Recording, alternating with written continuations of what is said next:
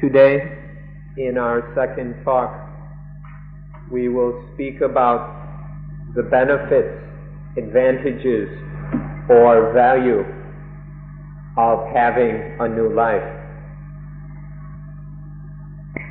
What we'll be talking about includes also the words, the meaning of the words, the flavor, the attractiveness, or we can say the charm of a new life as well. So please be interested in the different meanings of these, these different words to, in order to get a proper understanding of this subject.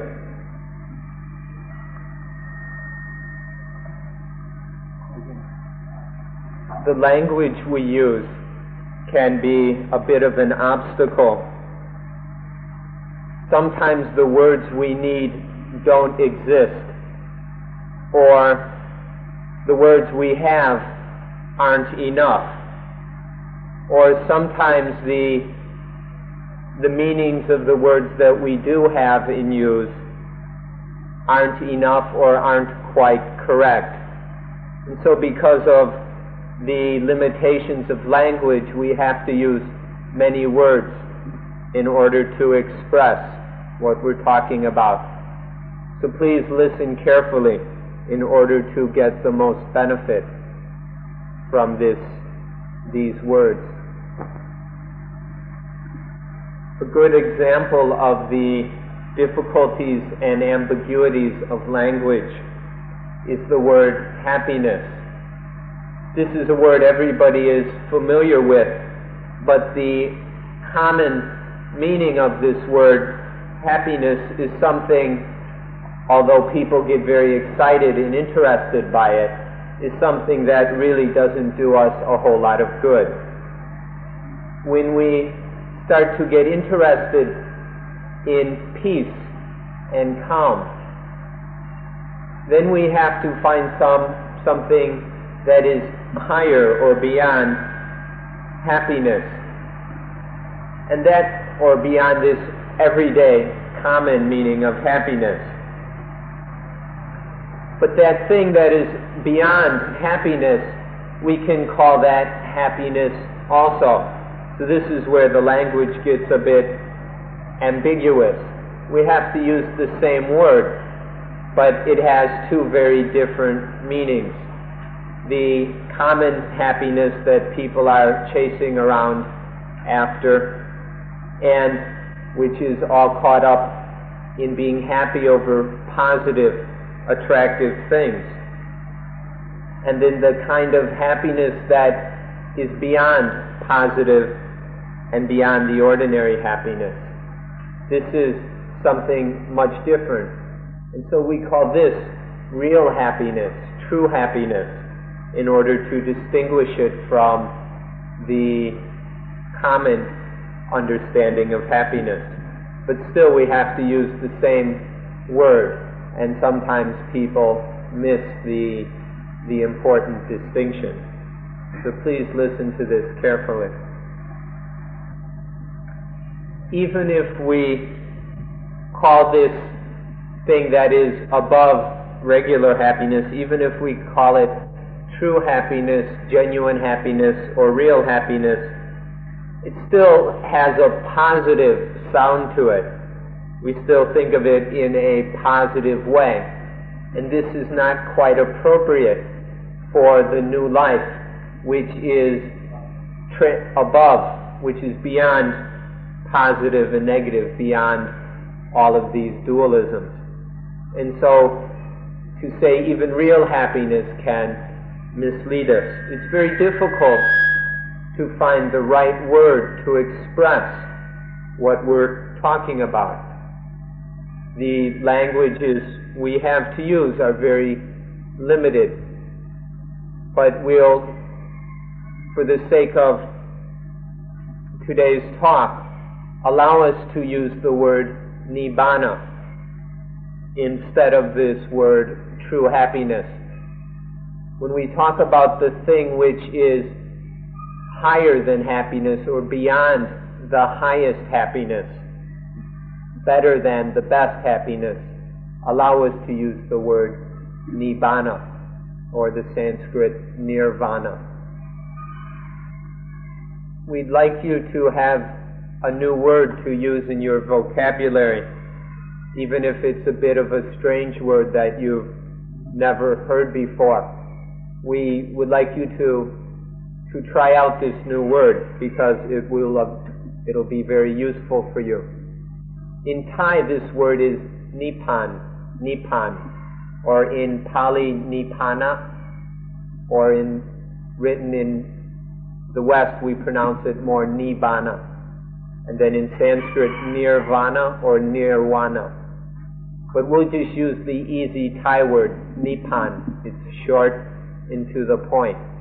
Nipan, even if it's a little difficult for you, please remember this word and get familiar with it in order to understand it more and more. Nipan, Nipana. We'll begin by giving the definition of the word Nipan to help you start to understand it. And as you begin to understand this definition, then you can figure out for yourself whether it is positive or not. If we start with the roots of the word Nipan, the, the literal origins of the word, it means the quenching of heat, the extinguishing, the putting out of heat, or the quenching of heat, the quenching of thirst, the quenching of dukkha. This is the literal meaning of the word nipan. If we examine, we'll see that the word quenching and extinguishing are somewhat different. The word quenching still has a bit of a positive quality to it. Um, it's a bit more interesting or attractive to us.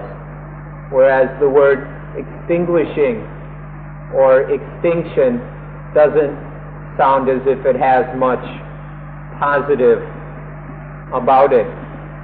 So we'd like to go back to the way this word Nipan was used in the Buddha's time or even before that to see the kind of meaning it had then. And at that time, we, it seems to us that the word quenching is more appropriate. It's the quenching of heat. The things that are hot you can find that out, and you have been finding that out for yourself. And the quenching of all those hot things is the meaning of Nipan. But it's merely a quenching of the heat. It's not a getting rid of or destruction of. It's not to for everything to disappear. It's just for the heat, for the for the suffering for the desire and thirst to be quenched. We should be very careful with the word nipan to understand that it doesn't have anything to do with death. Some people have gotten carried away and assume that nipan means death. Even in Thailand, many people have this incorrect understanding. Be, so be careful that Nipan doesn't have anything to do with death. Nipan is the quenching of heat. Death, death doesn't quench anything. Death can't quench anything. But Nipan can. It is the, the cooling down, the quenching of things that are hot and of heat.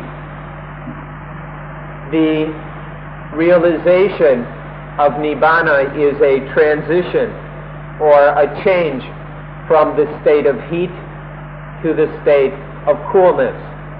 And that's all. There's nothing in there that has to do with death.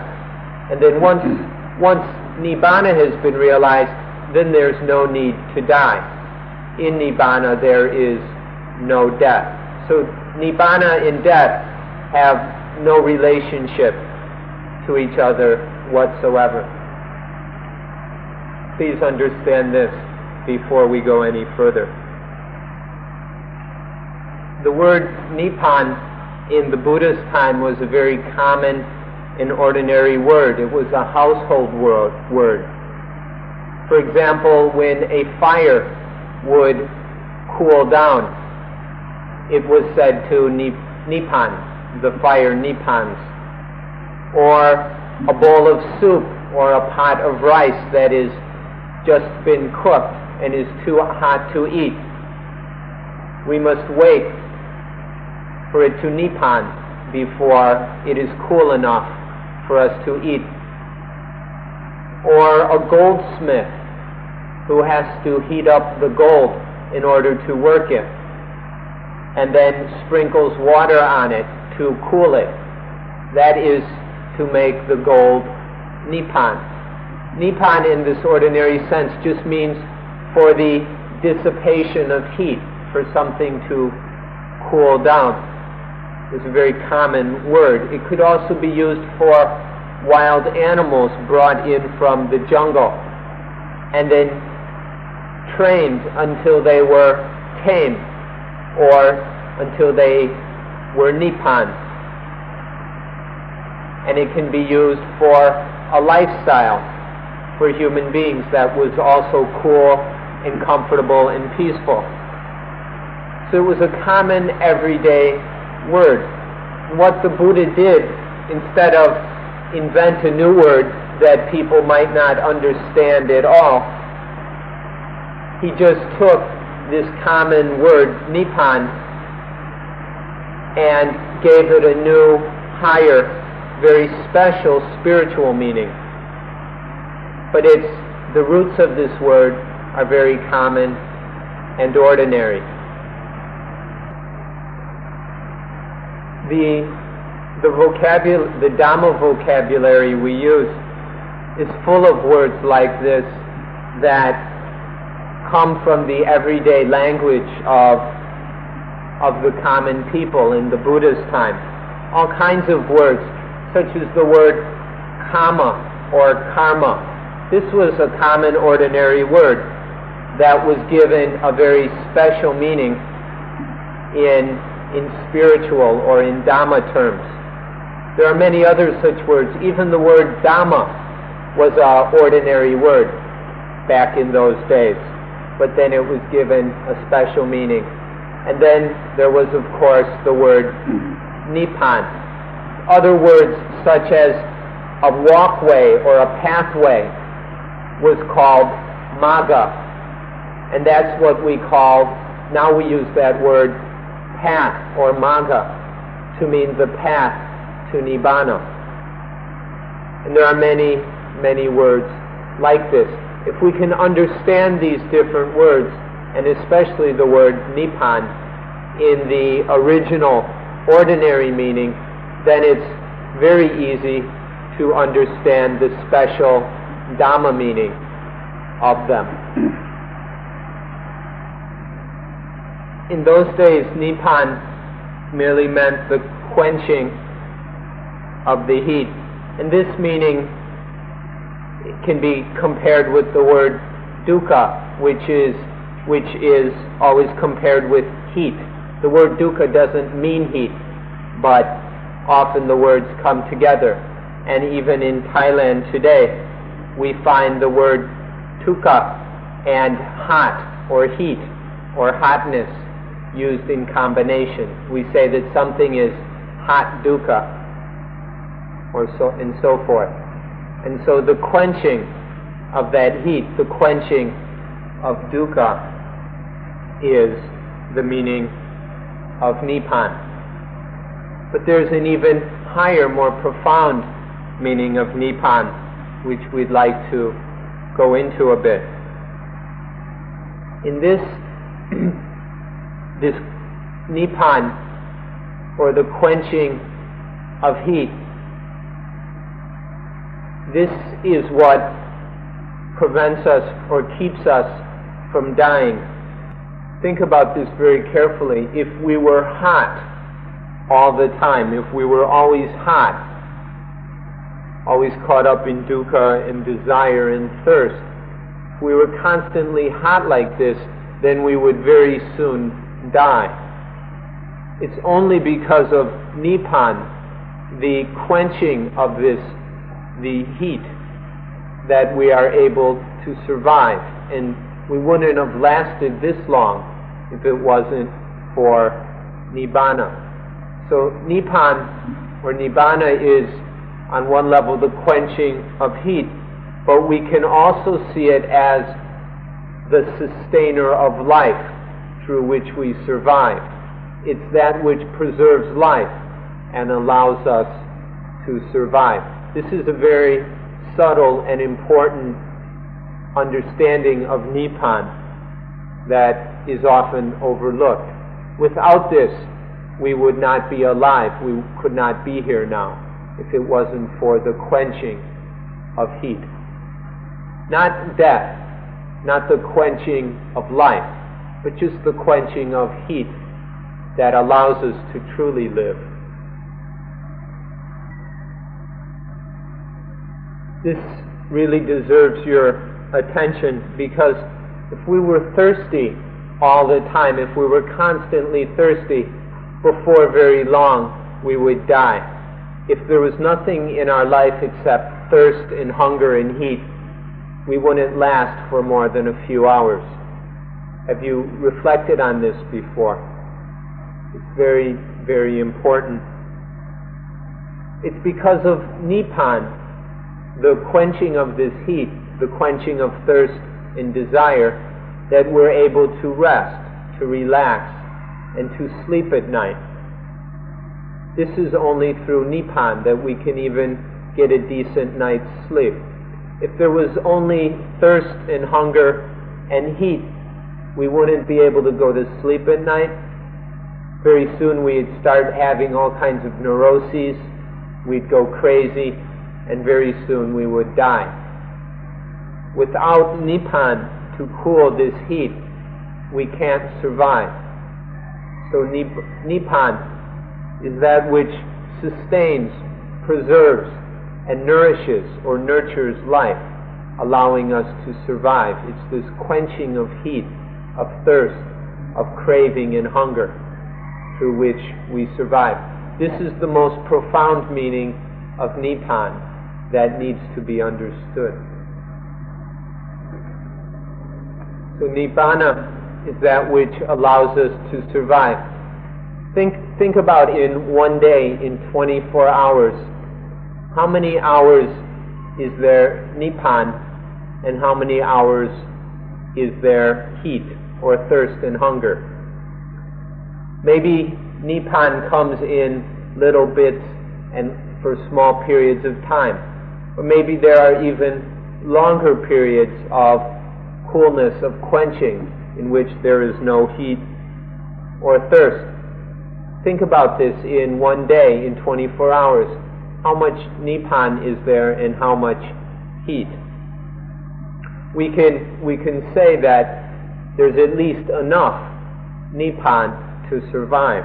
That's obvious for all of us, all of us who are, are still surviving. There's enough Nibbana for us to survive. So please take a look at this and develop some respect and gratitude for Nibbana, because this is the thing that keeps us alive, and we ought to be very thankful for it. But there are some fools who go and translate Nibbana to mean death, and these poor people have got it all backwards. Nibbana isn't death, but it's that it's the opposite of death. It's that which allows us to live, to survive. And so it's something that deserves our gratitude. And so the meaning of new life is a life that is much more quenched than the old life. The old life is very hot, and in new life there is a lot of quenching, or maybe even total quenching. So the heat has been completely quenched. This is the difference between old life and new life. If you can understand this, that the new life is a life in which there is a great deal of quenching, then you will be able to see the direction in which we, we are headed, we need to go. And you can see then the, the true purpose and benefit of vipassana, of insight meditation, of learning to see things as they really are. This is in order to, for quenching, for a new life, a life that is the life of quenching, quenching the heat until it is completely and totally quenched. This is the purpose or the value of vipassana. We ask that you just learn this word nibbana, or if you prefer the Pali nibbana, instead of translating it, because if we start translating it, it gets easier and easier to get the meaning wrong. So let's just stick with the simple word nibbana and understand its meaning correctly. And the, the first meaning to understand of nibbana is the thing which sustains and preserves life. It keeps, it quenches the heat enough so that life can continue or so that life can be cool. This is the first understanding of Nibbana to remember. The second point to understand about Nibbana is that it is the summum bonum of Buddhism. We can use this, this Latin word summum bonum because it's well understood by Westerners and should be familiar to you to you all. Sum, the summum bonum of Buddhism is Nibbana. Summum bonum, or the, the utmost goodness, the highest good which man can get, or which women can get, whichever you prefer. This in Buddhism is Nibbana. We can take the, the general ethical understanding of summum bonum if we wish, or we can we can take higher higher levels. Often summum bonum, or the the highest good, the utmost good, which humanity can get, is described as happiness. But we've already discussed today about the vagueness or the confusion that can arise regarding the word happiness. And so in Buddhism we prefer not to to say that the summum bonum is happiness unless you understand that the summum the happiness if you un, unless you understand that the Buddhist summum bonum is the happiness of nibbana if you want to say that the utmost goodness is happiness then please understand that it's the happiness of Nibbana.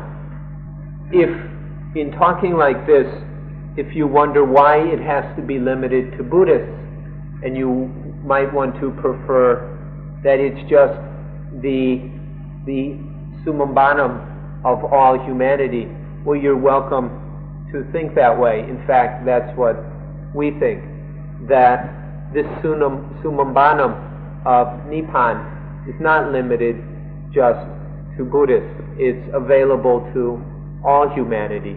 And so, in fact, we would say that the highest good, the utmost good that humanity can get, all humanity and not just Buddhists, is Nibbana.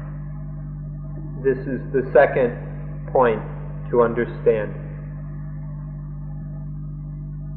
There are a lot of high sounding words such as unique and supreme. But the question always comes back to are these things beyond good or goodness? When we say unique or supreme, is it beyond good or is it only just good? When we, we talk about the utmost goodness, we're forced to do this by language. We don't have any other words to use. So we have to use these words utmost goodness, or supreme, or unique, or whatever. And so it's important how we understand these words when we're talking about Nibbana, we're talking about something that is beyond good. It's, it's beyond evil, and it's also beyond good. Nibbana is no longer trapped in these distinctions of evil and good. It's above, it transcends good. But still, in the end, we don't have any other word to use, so we're still stuck with the word the best or the utmost goodness. We can't get free of these words. So we just have to understand them correctly. If it's really supreme, then it transcends good and evil. If it's really unique, then it must be beyond, completely un, untouched by, by the good as well as the evil. This is what we mean by nibbana. It's no longer caught up, even though we say the word good or goodness or the highest good, the utmost good, the supreme good. Even though we use this word, what we're talking about is something that transcends, is beyond, outside of the, the meaning of the word good and goodness.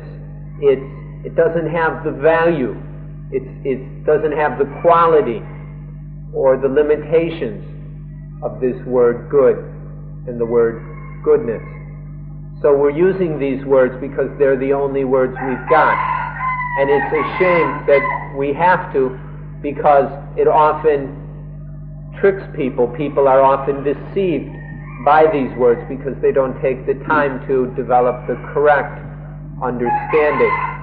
And so today we're trying to, to point out how we're using these words in order to understand them correctly. Nibbana is the utmost good, which is so good that it's beyond good. It has nothing to do with good.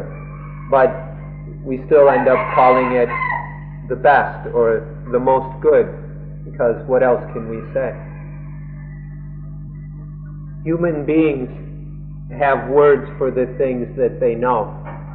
The things that we know about, we have words for, and things we don't know about, we don't have any words for.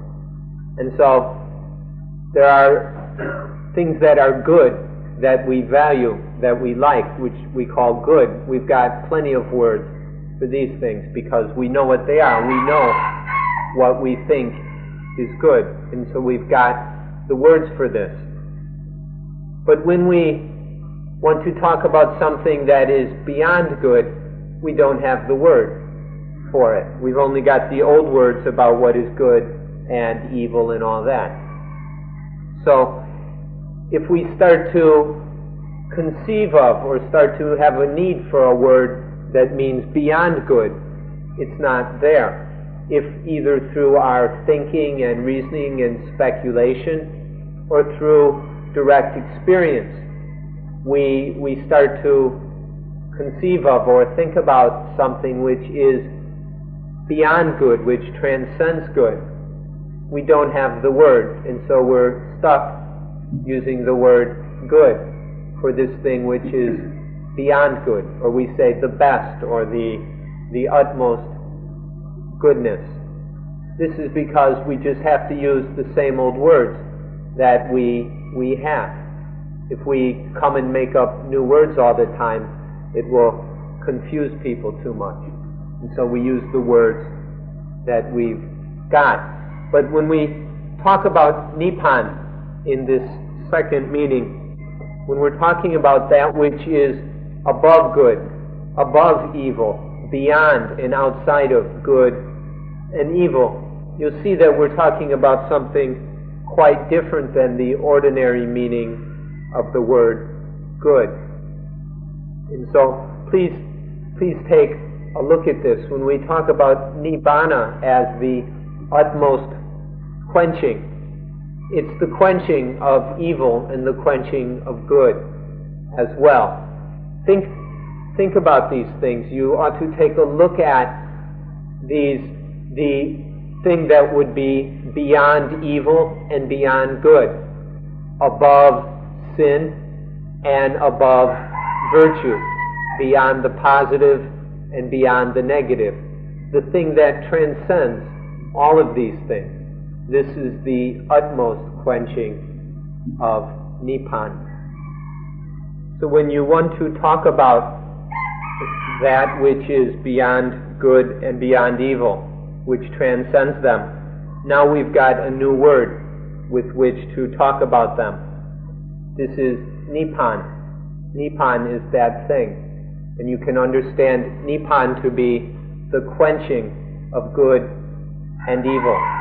This is a new word we now have in order to talk about the thing that transcends all good and all evil which is beyond them. The quenching of good and evil, or Nibbana. This is the highest thing, the supreme thing. There's nothing higher than this. This is so high that it's higher than high, or Nibbana, the quenching of good in evil. This is a word we hope you can remember and use and consider. Nibbana in its second second meaning we should observe that good is hot, goodness is hot, and of course evil is hot as well. Both good and evil are hot, they have heat. And so the quenching of good and evil is coolness, is Nibbana. We should look at all these dualisms, all the pairs of opposites we've got not just good and evil, not only these are hot, but all dualisms, all these dualistic pairs are hot. And the quenching of them is nibbana. Especially the, the biggest dualism of all, the dualism of positive and negative. Positive is hot, and negative is hot. Both of these are full of heat, and the quenching of them is Nibbana. For the positive, we can say that it's a wet heat. The negative is a dry heat. If you observe these, these things, you'll see what we mean. But the quenching of them, the cooling of them, is to be free of that heat, to be Nibbana. All the dualisms, all these pairs, good and evil, sin and virtue, positive and negative. They're all hot. But then there is the quenching of them, or nibbana, which is not hot at all. This is what we should study. Study the hotness of all these dualisms and the, the quenching of nibbana. You ought to study every one of these pairs of opposites until you see that each and every pair is, is hot. Each of them has heat. There is heat within them, and they are hot. The, the pair of positive and negative, both of these are hot.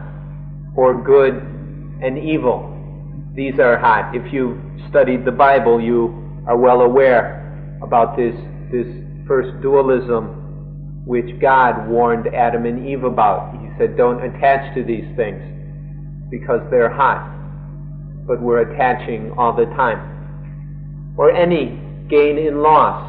Gain is hot, loss is hot.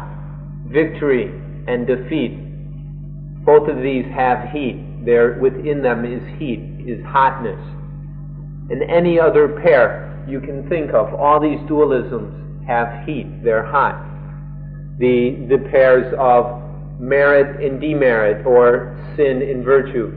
no matter what meaning you give to these pairs, whether it's from an Asian perspective or a Western perspective, still they're hot.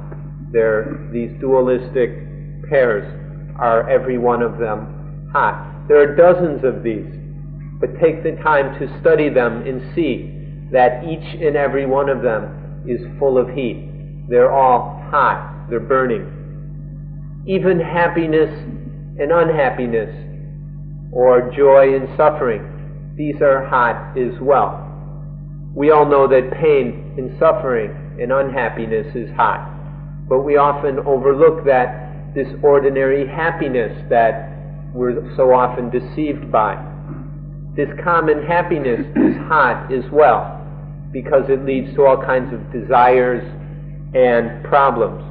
So even happiness, the ordinary happiness, is full of heat is hot.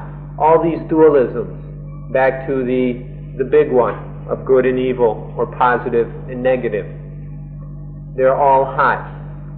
When we see this, then we can start to see the value of quenching all this heat in order to, to discover Nibbana, or a life that is cool, a cool life. There's another word that can deceive us, just like the words good and happiness.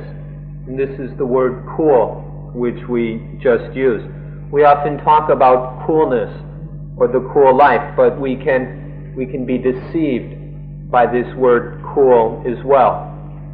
When you hear the word cool, you're thinking about the opposite of hot then we can very easily get trapped in another dualism and get caught up in these attachments again. When we're talking about cool, okay, heat means a lot of temperature, and cool just means a lower temperature, or maybe cold, a very low temperature. But if coolness, in the way you're understanding it, still has some temperature, then it's just another, it's just an opposite to heat. And then we've got a dualism, and the mind is, and that's not the coolness that we're talking about. So when the cool or coolness we're talking about here is not a coolness that has temperature, except to say that it has no temperature wouldn't be quite right either. We once again, we don't quite know how to put it. But the coolness we mean here is a coolness that is beyond cool or outside of cool. It transcends both hot and cool. This is the coolness we mean when we're talking about Nibbana or a cool life. It's not, it's not a dualistic cool. It's a cool that's outside of and beyond the ordinary understanding of coolness. So be careful about even this word. It can be deceptive, just like the words good or happy. When you think of the thing which is beyond all duality, that transcends all of the dualisms of good and evil, and so forth, then think of the word Nibbana. This is what Nibbana means, this state that is beyond all these dualisms. So, this is the understanding of Nibbana that we are trying to get across here. When we say Nibbana, of course, we don't mean something that's caught within the duality of good and evil. But if we want to say, so when we say that Nibbana is the summum bonum of Buddhism, we should see that it's not, it may not be exactly the summum bonum of the Romans. Maybe in the Latin language they didn't have a word like beyond good. They didn't have this word above good. And so their idea of the summum bonum was still a dualistic kind of good. Maybe they didn't have a word like Nibbana, and so the best they could think of was the utmost goodness. But in, in Buddhism, we have a word that is beyond that. We want to express something that is beyond merely being good, something that transcends both evil and good. And so we have the word Nibbana. So when you're thinking of this state of, of coolness, of quenching that is outside of and beyond the power and influence of all the dualities of any pair of opposites, then think of Nibbana. This is the summum bonum of the, the particularly or peculiar, the peculiar summum bonum of Buddhism. We've got another way to look at this to help you understand. When you're hungry, you need something to satisfy the hunger, and then the hunger is quenched. When you when you have a hunger, you go and eat something or or find whatever it is to satiate that hunger, and then you have the quenching of that hunger. But also there's the state when you're not hungry at all, when there's no hunger at all. Now think about these two. Which is more quenching? Which is a higher order of quenching? Where you have to go out and find something to consume or eat in order to satisfy the hunger, or the, the complete absence of hunger. Which of these is more quenching? When we talk about nibbana, it's the second kind of quenching. This when there's no no hunger, no thirst, no desire. If there's still desire, then we have to struggle and work and do all kinds of things in order to satisfy that desire, and often we're frustrated, and there's a lot of dukkha associated with the satisfaction of this hunger, of that common kind of quenching. But the quenching of Nibbana, in which there is no hunger, it is free of all those problems and struggles and dukkha.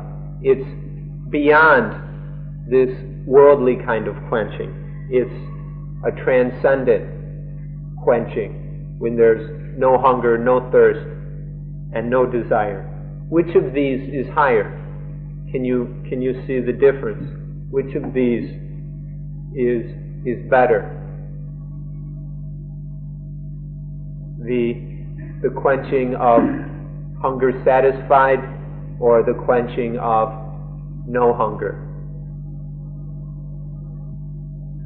If we examine life carefully, we'll see that the desire for quenching is an instinct. This is a fundamental instinct in all living things. All living things have a desire to quench hunger, to quench thirst. And so we can see this in all levels of life. We can see in the mosquito it has a hunger and so it, it sucks our blood in order to quench its desire for blood. Or we can see the young infant quenching its desire by sucking milk from its mother's breast. Or when we're hungry, we want to quench that hunger. We have a, a desire, an instinctual desire to quench that hunger.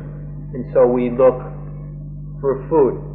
We can see this instinct, this desire to quench in all levels of life. And as we grow beyond the infant, as we become adults, we have more complicated hungers. But still, we always want to, we're trying to quench these desires. The desire for fame. And we go about doing things in order to quench the desire to be famous or to be respected or liked. Or the desire for, for sex we, we look for ways to quench this desire in order to, to experience that coolness. There are countless examples of this in our everyday lives, of this instinct of quenching desire. But most of the ways we go about this are very fleeting and temporary. And so here we're looking for a way to quench these desires that will quench all desire. This, this need or instinct to quench desire. We're looking for something that can quench them all, not just a little bit here and a little bit there for a few moments or a few minutes, but something that can quench all desire in order to respond to this, this basic instinct which we can observe in all living things, and most of all, ourselves. The, the strongest or the most powerful kind of desire or craving is the desire of the defilements, defiled desire, defiled craving. This is the high, hard, the hottest, most powerful kind of craving. And Nibbana, Nibbana is the quenching of these defiled desires, hateful desires, greedy, lustful desires, confused, deluded desires, the quenching of all these defiled desires, which every one of them comes from ignorance, from not knowing things the way they are. And so there arises these foolish, silly, defiled wants and desires. The highest Nibbana, the final Nibbana, quenches all of these kinds of desires all these defiled desires. And so this brings us to the third understanding of Nibbana, which is Nibbana as the goal of life, the final goal of life, or the final destination of life. If we understand that quenching is a fundamental instinct in all life, then we will understand that the final goal or destination of life is the supreme quenching, the highest quenching, the final quenching of Nibbana, in which all these defiled, foolish, ignorant desires are quenched. So this, this third value of Nibbana is the, the destination or the goal of life. All life is heading for Nibbana. All, all life seeks and tends towards Nibbana. But, but there is this struggle. There's this constant struggle for, for this quenching. We are always going about it in, in ways that are struggles, are competitions, because we don't quite know how to go about it in the, the best or the wisest way. So there is all this struggle for Nibbana. But in all life, in plants, in trees, in animals, in human beings, in anybody's life, whether from Asia or the West, no matter what class we come from, what language we speak, what profession we have, in all our lives, we are struggling for Nibbana. We are struggling for this. And until we can reach this final destination, there will be nothing but struggle. We'll continue struggling. We'll continue traveling and wandering all over the place until we reach this destination point, the destination point of life, which is Nibbana. There's no other place where all this traveling and struggling ends but in Nibbana. No matter where we go, there will be struggles and hassles, and all of that will only end in the final quenching, the ultimate supreme quenching of Nibbana, there is no life, whether plant, animal, or human, that goes anywhere else or can go beyond Nibbana. It is the final goal of all life, where all the, all the struggles, all the hassles, all the problems, all the travels cease and are quenched in Nibbana. Whether you know about Nibbana or not, whether you understand what we're talking about or not, whether you're interested in it or like it or not, regardless of what you think or believe or like or dislike, your life is struggling for Nibbana. No matter what you're thinking, your life itself, the life force, the nature of life, is to struggle, to search for Nibbana. And this is going on whether you're conscious of it or not, whether you are willing to admit it or not, whether you're interested in it or not. It's still a fundamental instinct in all life, most of all in your own life. It's there if we can start to start to notice it and accept this fact when we can be consciously aware of this nibbana, this nibbana instinct, then we are able to cooperate with life instead of all our crazy thinking, following selfish desires. We can start to think in ways that are about cooperating with life. We can work together with life for to work together for nibbana instead of egoistically trying to go in a different way. All life seeks Nibbana. This is the destination point of life.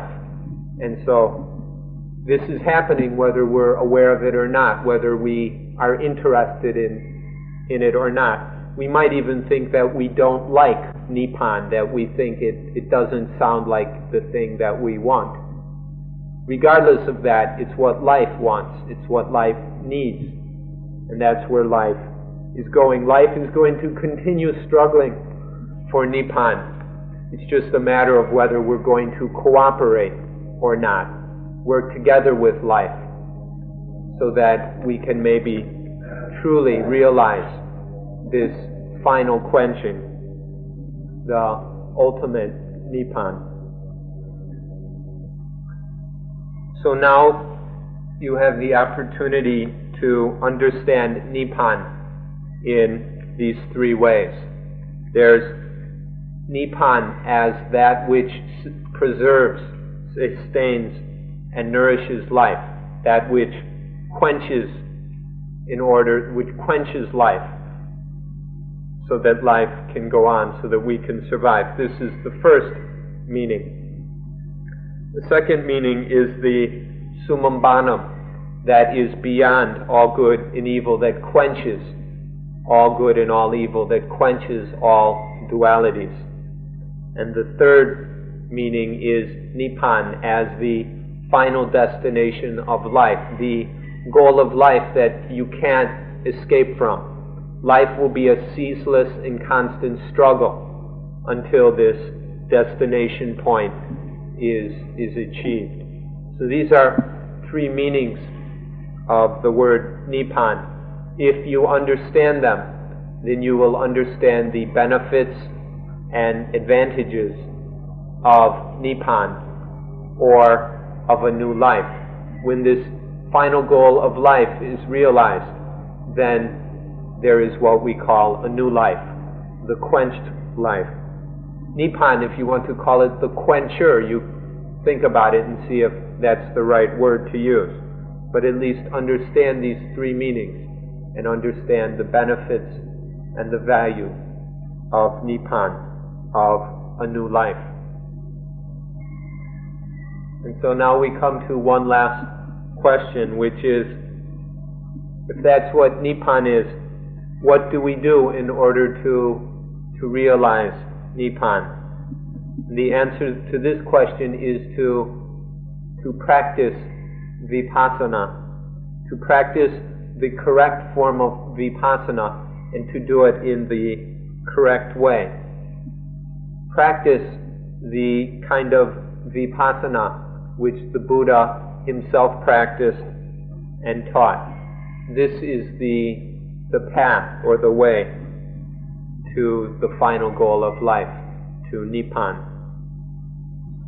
So, for this reason, please be very, very interested in vipassana. Give it sufficient time and energy in order to practice it correctly, in order to realize the, the true benefits of vipassana or of meditation. So please practice vipassana with effort, patience, and do it correctly.